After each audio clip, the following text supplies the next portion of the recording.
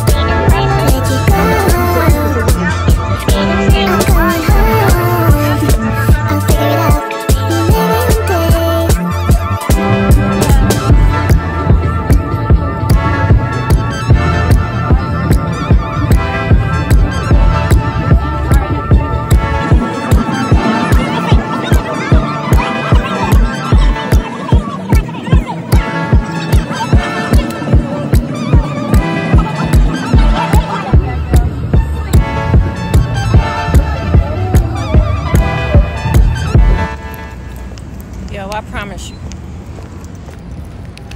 Nobody likes street hypnosis. Nobody loves hypnosis more than street hypnotists in Phoenix, okay? Because it's hot. It's 105 degrees, what my car said, and we are outside.